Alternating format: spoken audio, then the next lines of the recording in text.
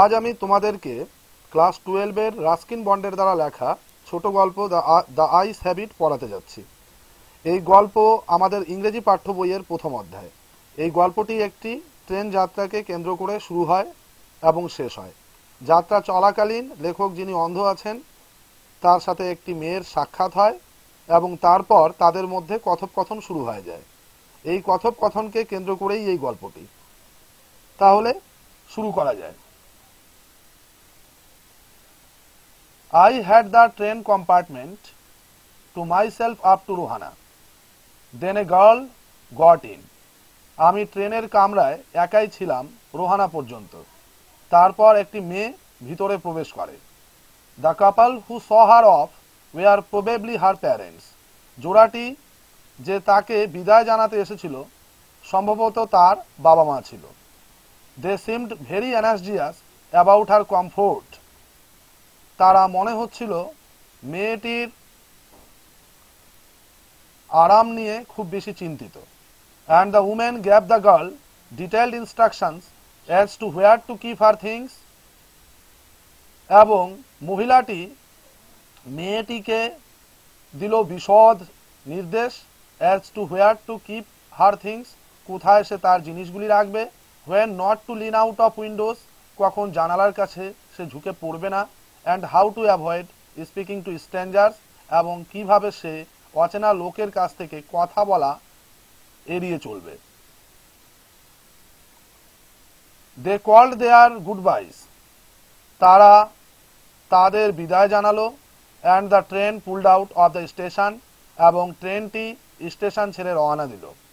As I was totally blind at the time যেহেতু আমি সেই সময় সম্পূর্ণ অন্ধ ছিলাম my eyes were sensitive only to light and darkness আমার চোখ দুটি, আমার চোখগুলি সংবেদনশীল ছিল কেবলমাত্র আলো এবং আধারি নিয়ে। I was unable to tell what the girl looked like আমি অসমর্থ ছিলাম বলতে, মেয়েটি দেখতে কেমন ছিল। বাট আই নিউ কিন্তু আমি জানতাম সি ওর স্লিপার্স সে চটি জুতো পরেছিল। আমি জানতাম সে চটি জুতো পরেছিল। From the way they slapped against her heels যেভাবে সে তার হিলের সাথে যেভাবে তার চটি জুতোকে আঘাত করছিল, সেটা দিয়ে আমি বুঝতে পারলাম। আমি যে মেয়েটি চটি জুতো পরেছিল। It would take me some time to discover এটা আমাকে খানিকটা সময় নিয়ে নেবে টু ডিসকভার মানে আবিষ্কার করতে সামথিং অ্যাবাউট হার লুকস মানে কিছুটা তার কিছুটা সে দেখতে কেমন and perhaps I never would এবং হয়তো আমি কখনোই সেটা আবিষ্কার করে উঠতে পারব না। But I like the sound of of her voice কিন্তু আমি তার কণ্ঠস্বরটা পছন্দ করলাম and even the sound of her slippers আর এমনকি তার চটি জুতোর শব্দটাও পছন্দ করলাম, শব্দটিও পছন্দ করলাম। তার মানে লেখক অন্ধ থাকার জন্য তিনি দেখতে পাচ্ছেন না, কিন্তু শুনতে পাচ্ছেন। তিনি মেয়েটার কণ্ঠস্বর শুনতে পাচ্ছেন। তিনি মেয়েটির চটি জুতোরও শব্দ তিনি, উনি শুনতে পারলেন। কিন্তু উনি দেখতে পারছেন না। তার মনের ভিতরে একটা কৌতূহল জন্ম নিয়েছে যে মেয়েটি দেখতে কেমন। তিনি আশাবাদী, হয়তো তিনি সেটা আবিষ্কার করতে পারবেন। আবার সাথে সাথে তার মনে সন্দেহ আছে যে হয়তো তিনি পারবেন না। তবে তিনি, তবে উনি মেয়েটির কণ্ঠস্বর শুনলেন, মেয়েটির চটি জুতোর শব্দ শুনলেন, আর এই দুটো শব্দ তার ভালো লাগল। Are you going all the way to Dehra I asked আপনি কি দেহরা যাচ্ছেন? আই আস্ট আমি জিজ্ঞেস করলাম। লেখক, মেয়েটি দেখতে কেমন সেটা জানার জন্য তিনি মেয়েটা উনি মেয়েটির সাথে কথাবার্তা শুরু করলেন। তা ওনার প্রথম প্রশ্ন হলো মেয়েটির কাছে যে, আপনি কি দেহরা যাচ্ছেন? এইভাবে তিনি কথোপকথন শুরু করলেন, যাত্রা চলাকালীন। I must have been sitting in a dark corner because my voice startled her আমি হয়তো অন্ধকার কোনায় বসেছিলাম, কারণ আমার কণ্ঠ মেয়েটিকে চমকে দিল। লেখক যখন মেয়েটিকে জিজ্ঞেস করলেন যে মেয়েটি কোথায় যাচ্ছে? তিনি কি উনি কি মেয়েটি কি দেহরা যাচ্ছে? এই কথা শোনা মাত্র মেয়েটি চমকে গেল। তখন লেখকের লেখক অনুমান করলেন যে হয়তো তিনি অন্ধকার কোনায় বসে আছেন সেজন্যই মেয়েটার জানতেন, মেয়েটা জানতো না যে লেখক অন্ধকার কোনায় আছে, সেই কথাটা শোনা মাত্রই মেয়েটি চমকে গেল।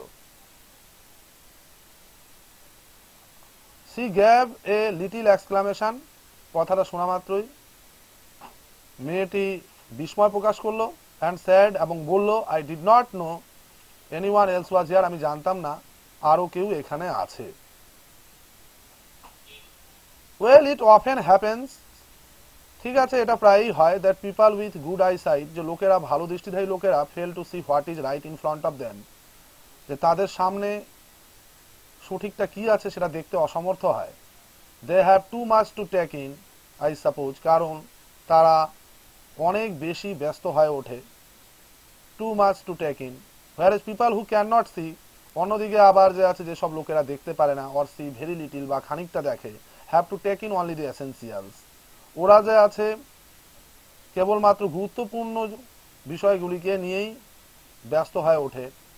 Whatever register tellingly on their remaining senses আর সেটা নিয়ে তার বাকি ইন্দ্রিয়গুলিও সজাগ হয়ে ওঠে। এখানে লেখক এক, একটা বাস্তব কথা তুলে ধরতে চেয়েছেন যে, যাদের দৃষ্টি থাকে, তারা অনেক সময় তাদের সামনে জিনিসটা দেখতে পায় না। কারণ তাদের দৃষ্টি একসাথে অনেক কিছুকে নিয়ে ব্যস্ত থাকে। অন্যদিকে, যারা অন্ধ হয়, তারা যেটা গুরুত্বপূর্ণ সেটাকে নিয়ে তারা সজাগ থাকে। কারণ কি, যদি তারা সজাগ না থাকবে, তাহলে তারা হোঁচট খেতে পারে, পড়ে যেতে পারে। সেজন্য তাদের যে আছে, দৃষ্টির সাথে সাথে বাকি ইন্দ্রিয়গুলিও, যেগুলি গুরুত্বপূর্ণ, সেগুলি নিয়ে সজাগ থাকে। আর সেজন্য সেজন্য অনেক সময় এরকম হয়ে যায় যে, অনেক সময় অন্ধ ব্যক্তি যেটা অনুভব করতে পারে, যে সামনে আছে, না দেখতে পেরেও অনেক সময় দৃষ্টিধারী লোকেদের সামনে থাকলেও সেটা সে দেখতে পারে না। লেখক অনুমান করলেন, হয়তো সেজন্যই মেয়েটি যে লেখক এই কামরায় ছিল, সেটা দেখতে সে- জানতে পারেনি। অন্যদিকে লেখক জানতে পেরেছিল যে মেয়েটি কামরায় প্রবেশ করেছে। বা হয়তো এমনও হতে পারে যে সে লেখক অন্ধকার কোনায় বসেছিলেন বলে মেয়েটি তাকে লক্ষ্য করেনি। বলেই যখন লেখক তাকে প্রশ্ন করলেন যে মেয়েটি কি দেহারা যাচ্ছে, এই প্রশ্নটা শোনা মাত্রই মেয়েটি চমকে উঠল। লেখক যে আছেন, সেজন্য এই ধরনের অনুমান করলেন যে হয়তো হয়তো উনি অন্ধকার কোনায় বসে আছেন, বা এমনও হতে পারে যে অনেক সময় দৃষ্টিধারী লোকেরাও অনেক সময় চোখের সামনে জিনিসটা দেখতে পারে না, কিন্তু যাদের দৃষ্টি থাকে না, তারা আবার অনুভব করতে পারে। I did not see you either লেখক তারপর উত্তর দিলেন মেয়েটিকে যে আমিও আপনাকে দেখিনি। আই স্যার আমি বললাম but I heard you come in কিন্তু আমি আপনাকে আসতে শুনেছিলাম। আই ওয়ান্ডার্ড আমি অবাক হলাম if I would be able to prevent her from discovering that I was blind আমি কি সামর্থ্য সামর্থ্যবান হয়ে উঠব? তার কাছ থেকে আমার অন্ধত্বটা আবিষ্কার করা থেকে তাকে আটকাতে আমি কি সামর্থ্য হতে, হয়ে উঠব? তার মানে লেখক চান না যে তিনি যে অন্ধ, সেই অন্ধত্বটা মেয়েটা জানতে পারুক। উনি চাচ্ছেন যে তার অন্ধত্বটাকে মেয়েটার কাছে আবিষ্কার হওয়া থেকে লুকাবার জন্য। সেটা নিয়ে তিনি একটু অবাক হলেন যে তিনি সামর্থ্য হতে, সামর্থ্যবান হয়ে উঠতে পারবেন কি না, তার অন্ধত্বটাকে মেয়েটার কাছ থেকে লুকাবার জন্য। Provided I keep to seat তবে শর্ত আছে আমাকে আমার সিটের সাথে যুক্ত রাখতে হবে আমাকে। আই থট আমি ভাবলাম it should not be too difficult এটা খুব কঠিন হবে না। দ্য গার্ল স্যাড মেয়েটি বলল I am getting off at Saharanpur আমি সাহারানপুরে নেমে যাচ্ছি। My aunt is meeting me there আমার কাকিমা সেখানে আমার সাথে দেখা করতে যাচ্ছে। Then I had better not get too familiar I reply তখন আমি জবাব জবাব দিলাম মানে লেখক জবাব দিলেন, তবে তোমার সাথে আমার বেশি সান্নিধ্যতা বাড়ানোটা তবে ঠিক হবে না। আর্নস আর ইউজুয়ালি ফর্মিডাবল ক্রিয়েচার্স কারণ কি কাকিমারা হয় খুবই মধ্যস্থতাকারী চরিত্র। Where are you going she asked মেয়েটি জিজ্ঞেস করল যে, আপনি কোথায় যাচ্ছেন? To Dehra and then to Mussoorie লেখক জবাব দিলেন যে দেহরায় যাচ্ছি এবং তারপর মুসৌরি যাব। Oh how lucky you are ও, আপনি কতটা ভাগ্যবান। I wish I were going to Mussoorie আমি আশা করি যদি আমি মুসৌরি যেতাম। আই লাভ দি হিলস আমি পাহাড়গুলি পছন্দ, ভালোবাসি। স্পেশালি ইন অক্টোবর, বিশেষ করে অক্টোবর মাসে। Yes this is the best time হ্যাঁ। এই সময়টা হচ্ছে সব থেকে শ্রেষ্ঠ সময়। আই স্যাড লেখক বললেন। কলিং অন মাই মেমোরিজ আমার স্মৃতিগুলিকে স্মৃতিচারণ করে স্মৃতিচারণ করে লেখক বললেন যে হ্যাঁ এই সময়টা হয় সব থেকে শ্রেষ্ঠ সময়। The hills are covered with dahlias পাহাড়গুলি সেই সময় থাকে বন্য ডালিয়া ফুল দিয়ে ঢাকা। দ্য সান ইজ ডেলিসিয়াস সূর্যটা হয় মনোরম। অ্যান্ড অ্যাট নাইট এবং রাতে you can sit in front of a log fire তুমি যে আছে লক ফায়ার লক মানে হচ্ছে কাঠের গুড়ি। কাঠের গুড়ির কাঠের গুড়িতে আগুন লাগিয়ে তার সামনে তুমি বসে থাকতে পারো।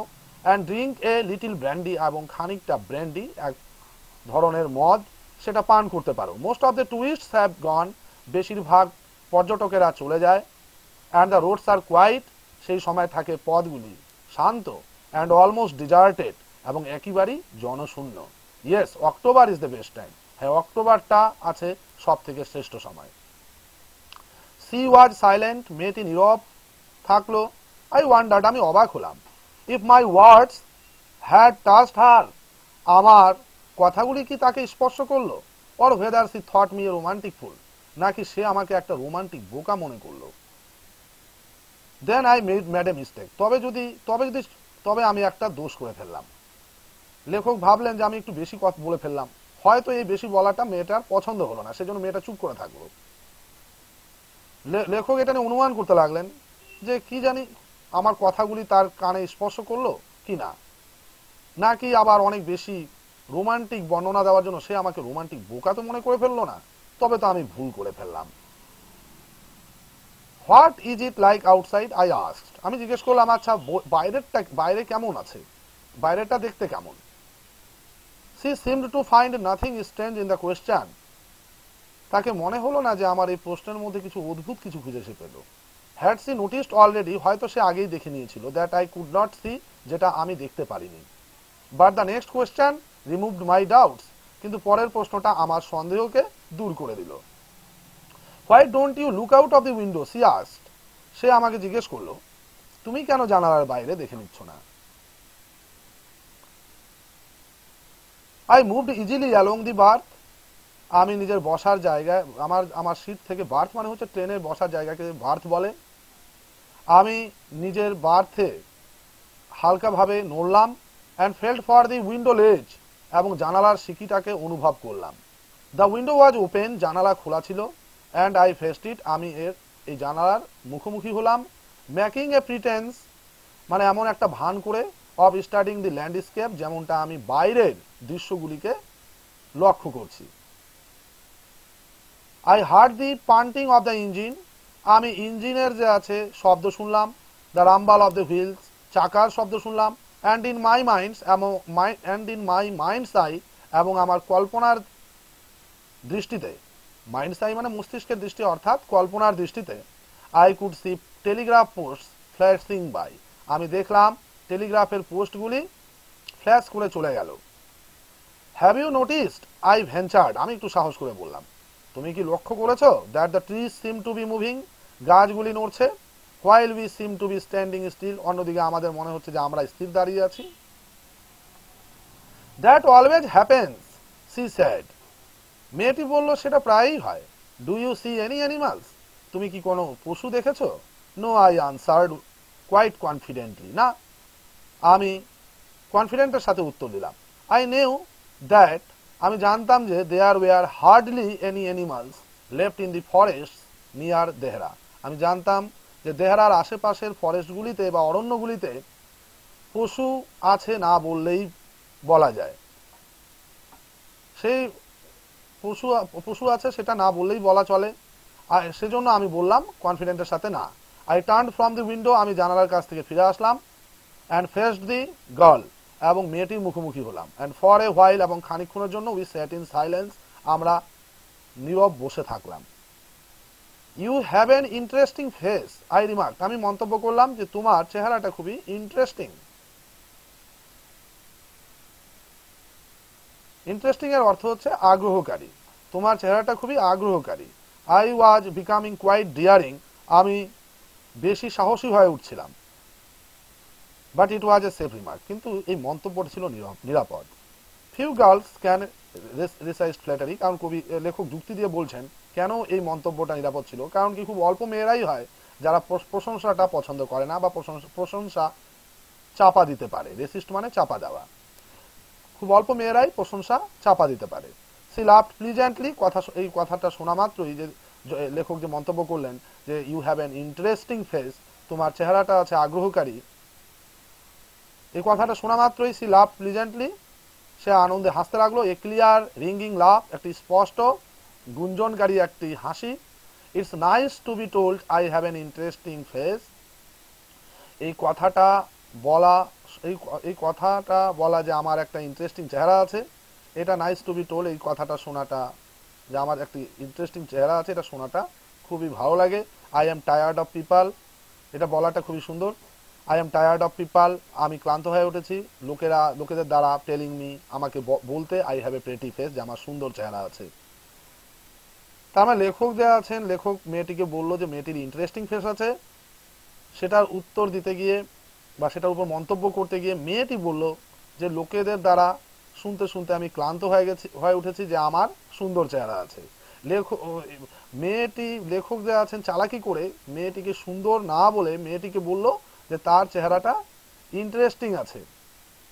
ইন্টারেস্টিং বলাটা, এই, এই- ইন্টারেস্টিং বলাটা যে আছে, এটা এটা স্পষ্ট করছে না যে চেহারাটা সুন্দর কি সুন্দর কি খারাপ, সেটা কিন্তু স্পষ্ট করছে না।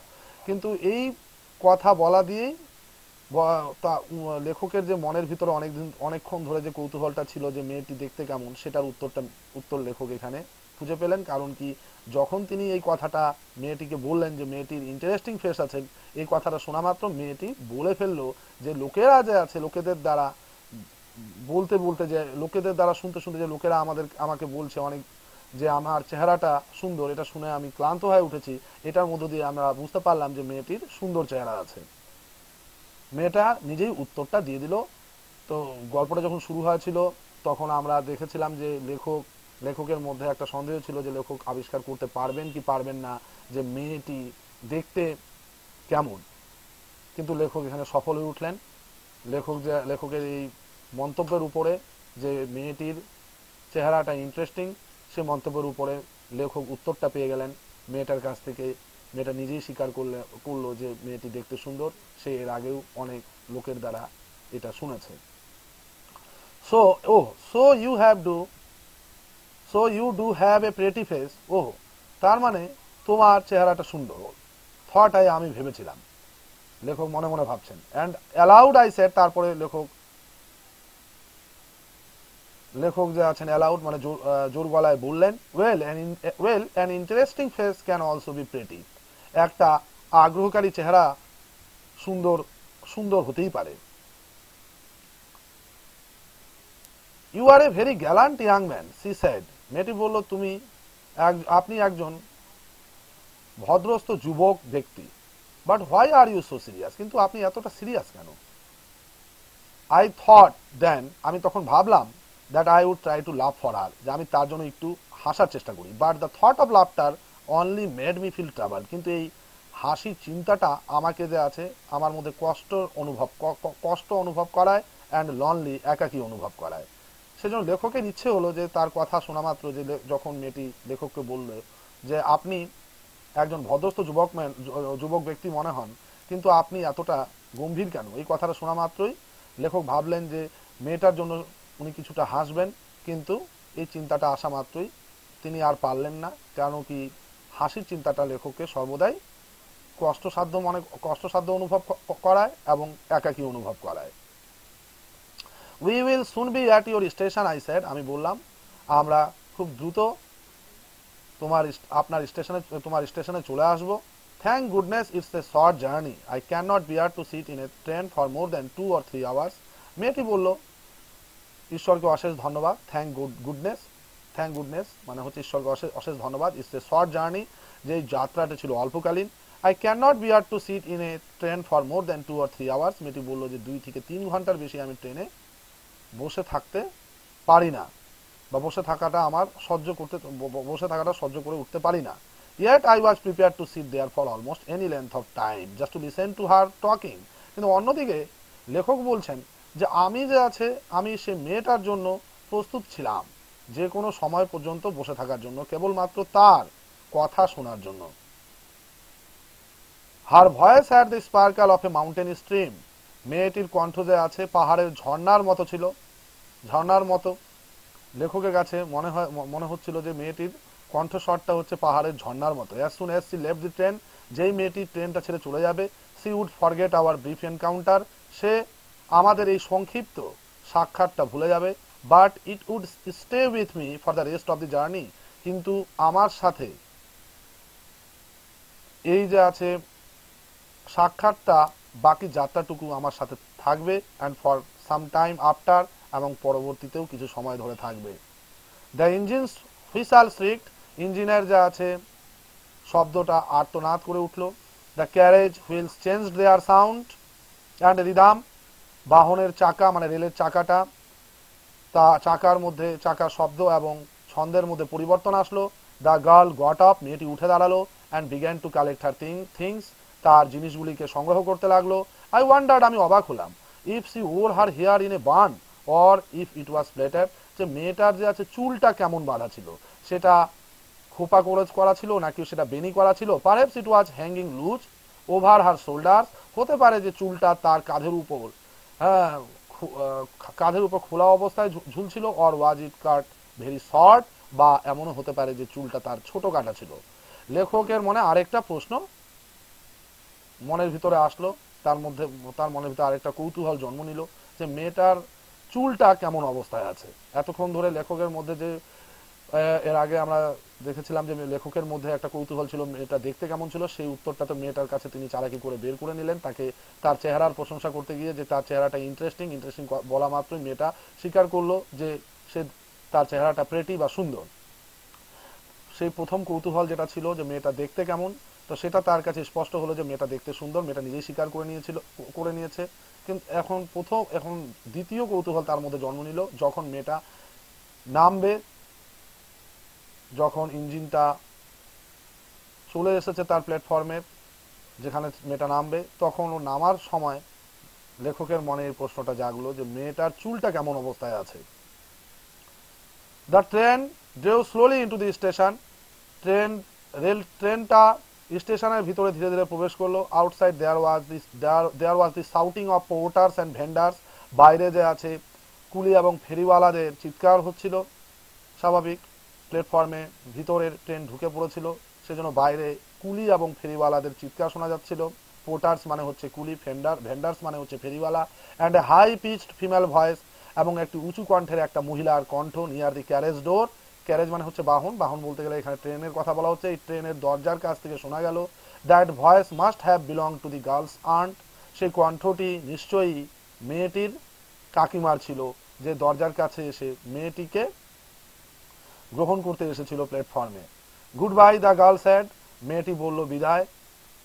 She was standing very close to me মেয়েটি আমার খুব কাছে দাঁড়িয়েছিল so close that the perfume from her hair was tantalising এতটাই কাছে দাঁড়িয়েছিল যে তার চুলের যে সুগন্ধিটা আছে আমার মনের মধ্যে মনের মধ্যে যে আছে এক এক ধরনের শিহরণ তৈরি করেছিল যে তাকে স্পর্শ করার জন্য মানে মনের ভিতরে যে মনটাকে প্ররোচিত করছিল চুলটাকে স্পর্শ করার জন্য। এতটাই কাছে মেয়েটা দাঁড়িয়েছিল আর তার মেয়েটার চুলের সুগন্ধিটাকে আমি অনুভব করতে পারছিলাম আর সেই অনুভবটা আমার ভিতরে একটা শিহরণ বা যে আছে প্ররোচনা জন্মাচ্ছিল যে যাতে আমি মেয়েটার চুলটাকে স্পর্শ করি। আই ওয়ান্টেড টু রেজ আমি চাইলাম I wanted to raise my hand আমার হাতটাকে তুলতে চাইলাম অ্যান্ড টাচ হার হেয়ার তার চুলটা স্পর্শ করতে চাইলাম বাট সি মুভ হয় কিন্তু সে চলে গেল। Only the scent of perfume still lingered কেবলমাত্র তার চুলের যে আছে সুগন্ধিটা সেখানে ভাসমান অবস্থায় থাকল হেয়ার সি ওয়াজ স্টুড যেখানে সে দাঁড়িয়েছিল তা আমার লেখকের মনের ভিতরে যে কৌতূহলটা জন্ম নিয়েছিল যে মেয়েটার চুলটা কেমন চুলটা কেমন আছে সেটা, সেই উত্তরটা তিনি শেষ পর্যন্ত জানতে পারলেন না আর মেয়েটা সে জায়গা থেকে চলে গেল। যদিও তার একবার ইচ্ছে আসলো যে মেয়েটার চুলটাকে সে স্পর্শ করবে, করবেন। উনি মেয়েটার চুলটা স্পর্শ করবেন, কিন্তু তার স্পর্শ করার আগেই মেয়েটি জায়গা ছেড়ে চলে গেল। তবে তার চুলের সুগন্ধিটা সেখানে ভাসমান অবস্থায় থেকে গেল। There was some confusion in the doorway দরজার রাস্তায় কিছুটা হই হট্টগোল ছিল। A man getting into the compartment একটা মানুষ, ট্রেনের কামরার ভিতরে প্রবেশ করা অবস্থায় স্ট্যামার্ড অ্যান্ড অ্যাপোলজি আমতা আমতা করে ক্ষমা চেয়ে নিচ্ছিল। দেন দ্য ডোর ব্যাং তারপরে দরজাটা সশব্দে বন্ধ হয়ে গেল and the world was shut out again এবং বহির্জগৎটা বহির্জগৎটা আবার ট্রেনের জগৎ থেকে বিচ্যুত হলো। আলাদা হয়ে গেল শাট আউট হয়ে গেল বহির্জগৎটা ট্রেন থেকে আবার বিচ্যুত হয়ে গেল, দরজাটা বন্ধ হওয়ার পর। I return to my berth আমি নিজের জায়গায় ফিরে আসলাম। The guard blew his whistle guard নিজের বাঁশি বাজালো অ্যান্ড উই মুভড অফ এবং আমরা রওনা দিলাম। Once again I had a game to play আরেকবার আমি ভাবলাম, একটা খেলা করা যায় and a new fellow traveller এবার একটি একজন নতুন সহযাত্রী। The train gathered speed train যে আছে ট্রেন যে আছে, গতি নিল। The wheels took up their song চাকাগুলি তাদের সংগীত ধরল। The carriage groaned and shook বাহনটি যে আছে আর্তনাদ চিৎকার করে উঠল এবং নড়তে লাগল, আর্তনাদ করল এবং নড়তে লাগল। তার মানে ট্রেন আবার নিজের গতি নিয়ে নিল। I found the window and sat in front of it আমি জানালাটাকে খুঁজে পেলাম এবং এই জানালার সামনে আমি বসে পড়লাম। Staring into the daylight দিনের আলোর দিকে এক দৃষ্টিতে তাকিয়ে থাকলাম। That was darkness for me যে আলোটি আমার কাছে ছিল অন্ধকার। So many things are happening outside the window জানালার বাইরে অনেক কিছুই ঘটে চলছিল। It could be a fascinating game guessing what went on out there এটা ছিল একটি মজাদার খেলা, অনুমান করা। What went on out there বাইরে কি ঘটে চলছিল। The man who had enter the compartment যে ব্যক্তিটি কক্ষের ভিতরে প্রবেশ করল ব্রোক ইন্টু মাই রেভারি আমার দিবা স্বপ্নটাকে ভেঙে দিল। রেভারি মানে হচ্ছে ডে ড্রিম অর্থাৎ দিনের স্বপ্ন। লেখক জানালার দিকে মুখ করে বাইরে যে আছে কি ঘটে চলছে সেটা নিয়ে তিনি অনুমান করছিলেন আর দিনের স্বপ্নের মধ্যে হারিয়ে হারিয়ে পড়েছিলেন, হারিয়ে গেছিলেন। তখনই আরেকজন সহযাত্রী, একজন পুরুষ মানুষ, সে আসলো আর লেখকের যা আছে সেই দিনের স্বপ্নটাকে ভেঙে দিল। তার হারিয়ে থাকা দিনের স্বপ্নটাকে ভেঙে দিল। You must be disappointed he said সে বলল, তুমি হয়তো হতাশ হবে। I am not nearly as attractive a travelling companion as the one who just left আমি একদমই সেই যাত্রীর মতো সুন্দর না বা আকর্ষণীয় না যে যাত্রীটা এই মাত্র আপনাকে ছেড়ে চলে গেল, তার মতো আমি একেবারেই তার মতো আকর্ষণীয় না। সেজন্য হয়তো আপনি আমাকে দেখে একটু হতাশ হবেন। She was an interesting girl I said আমি বললাম, সে ছিল একটি ইন্টারেস্টিং মেয়ে।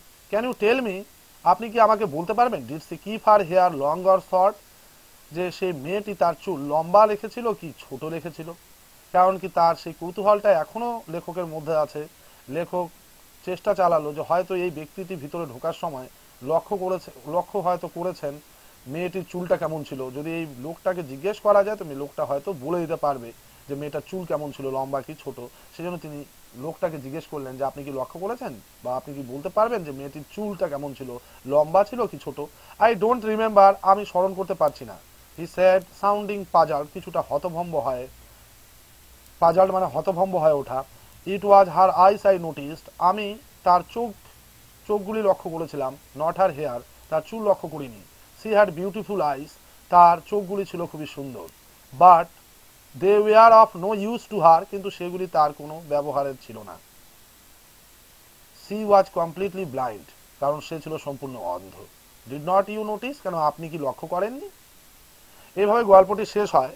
তো আমরা গল্পের শেষে এসে যা দেখতে পারলাম, লেখক যিনি মনে করছিলেন সারাটা সারাটাই যাত্রা জুড়ে মেয়েটার সাথে কথোপকথন চলাকালীন যে মেয়েটি মেয়েটি অন্ধ না মেয়েটির দৃষ্টি আছে এবং তিনি মেয়েটিকে তার কথার মধ্য দিয়ে মেয়েটিকে বোকা বানিয়ে যাচ্ছেন। শুরু থেকে শেষ পর্যন্ত যে তার অন্ধত্বটাকে অন্ধত্বটাকে লুকিয়ে কিন্তু গল্পটা যখন শেষ হচ্ছে আমরা দেখছি লেখক নিজেই বোকা হয়ে গেলেন।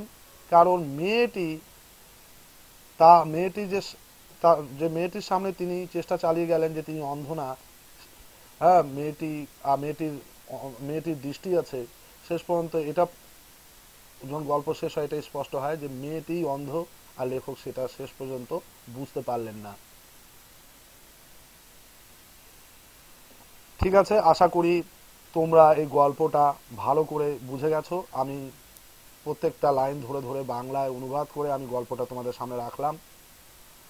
তোমরা যদি ভালো করে না বুঝে উঠতে পারো, ভিডিওটি আরেকবার দেখে নিও। আশা করি তোমরা গল্পটি বুঝতে পারবে যদি আরও আরেকবার ভিডিওটি দেখো। আর তারপরেও যদি কোনো লাইন নিয়ে যদি তোমাদের বুঝতে অসুবিধা হয়, আমাকে কমেন্ট করে বলবে। আমি সেটার বাংলা অনুবাদ করে বলে দেব বা কোনো শব্দের যদি তোমরা মানে বুঝতে না পারো, সেটাও তোমরা লিখবে, আমি তার অনুবাদ করে বলে দেব। ঠিক আছে? ধন্যবাদ ভিডিওটি দেখার জন্য।